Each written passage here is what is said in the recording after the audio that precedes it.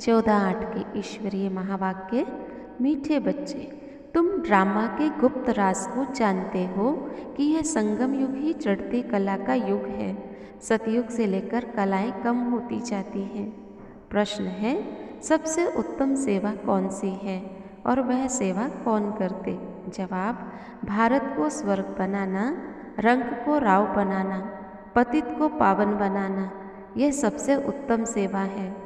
ऐसी सेवा एक बाप के सिवाय और कोई कर नहीं सकता। बाबा ने ऐसी सेवा, महान सेवा की है, तब तो उसकी इज़्ज़त रखते हैं। सबसे पहला सोमनाथ का मंदिर बनाकर उसी की ही पूजा करते हैं। गीत है, आखिर वह दिन आया आज। ओम शांति। आज की मुरली के मेन पॉइंट्स हैं। बाबा कहते, आत्मा गुप्त है, शरीर प्रत्यक्ष है, आत्मा देखने में नहीं आती है। इनकॉग्निटो है तो ज़रूर इस शरीर से ढकी हुई है, इसलिए इसको गुप्त कहा जाता है। आत्मा खुद कहती है, मैं निराकार हूँ, यहाँ साकार में आकर के गुप्त बनी हूँ। आत्माओं की दुनिया ही निराकारी दुनिया है, इस शरीर द्वारा आत्मा कर्म करती है। बाबा आते हैं, भारत को फिर से, गरीब से साहूकार बनाने। तुम कहेंगे हमारा भारत गरीब था। अच्छा ये साहूकार कैसे बना? कब था? ये तुम बच्चों को उन्हें समझाना है। तुम ही जानते हो कि सतयुग में देवताओं के सिवाय कोई और धर्म था ही नहीं। बाबा कहते, सतयुग में देवी देवताओं को रचता रचना का ज्ञान भी नहीं था। उन्हें नहीं पता कि हम उतरती कला में जाएँगे। अगर ऐसे पता होता तो उनकी बादशाही का सुख न रहता, उनको भी चिंता लग जाती। अभी तुमको भी चिंता लगी हुई है कि हम तमो प्रधान से सतो प्रधान कैसे बने? हम आत्मा है, ये तुम्हें पक्का करना है। बाबा कहते, देखो बच्चे, अभी तुम मेरी कितना रिगार्ड रखते हो? तो तुम किसकी इज़्ज़त रखते हो? ज़रूर वो कभी कुछ देख कर के गया होगा।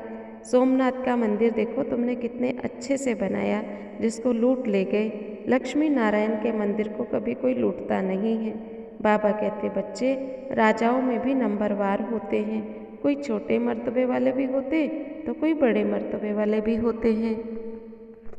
अभी तो तुम ऐसे कर्म किए हैं जो झट से पतित बन गए। हो मैं ही आकर तुम ऊंच से ऊंच बनाता हूँ। सेकंड में जीवन मुक्ति तुम्हें मिल जाती है। तुम कहते हो, बाबा, हम आपके हैं। बाबा कहते, बच्चे, तुम विश्व के मालिक बनो। इतना पुरुषार्थ करो। अभी तो तुम सभी आत्माएँ मेरे बच्चे हो। लेकिन बच्ची का चेहरा देख के उतर जाते हैं। बच्चा पैदा हुआ तो कहेंगे हाँ वारिस बना, ऐसा होना नहीं चाहिए। शिव बाबा के तो सब बच्चे हैं।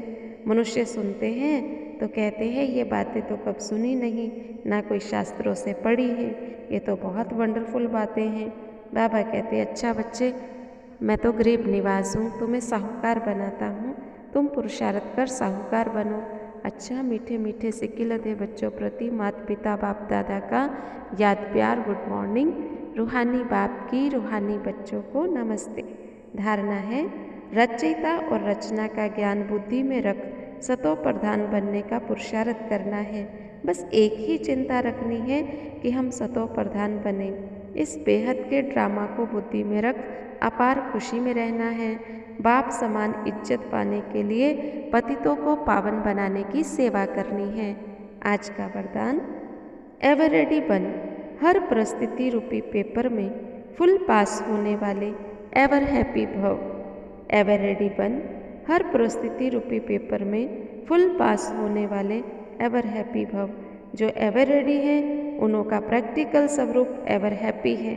कोई भी परिस्थिति रूपी पेपर व प्रकृतिक आपदा द्वारा आया हुआ पेपर व कोई शारीरिक कर्म भोग रूपी पेपर आ जाए, इन सब प्रकार के पेपर्स में फुल पास होने वाले को एवर रेडी कहेंगे।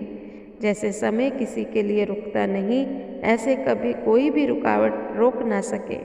माया के सूक्ष्म व स्थूल विघन एक सेकंड में समाप्त हो जाए तब कहेंगे, एवर हैप्पी स्लोगन है। समय पर सर्वशक्तियों को कार्य में लगाना, अर्थात मास्टर सर्वशक्तिवान बनना है। आज का स्वमान रहेगा, मैं मास्टर सर्वशक्तिवान, एवर हैप्पी हूँ। हर हाल में खुशहाल, चाहे कोई भी पेपर आ जाए, लेकिन खुशहाल, ओम शांति।